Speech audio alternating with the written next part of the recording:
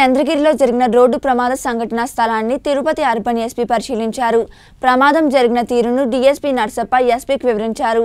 చంద్రగిరి నుండి ఐతేపల్లి వరకు గల జాతీయ రహదారిలో జరుగుతున్న వరుస ప్రమాదాలకు కారణాలను ఎస్పీ అడిగి తెలుసుకున్నారు. ప్రమాదాలు జరగకుండా నివారణ చర్యలు తీసుకుంటున్నామన్నారు.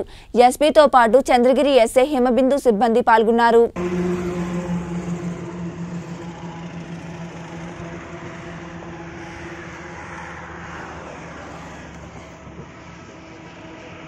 Thank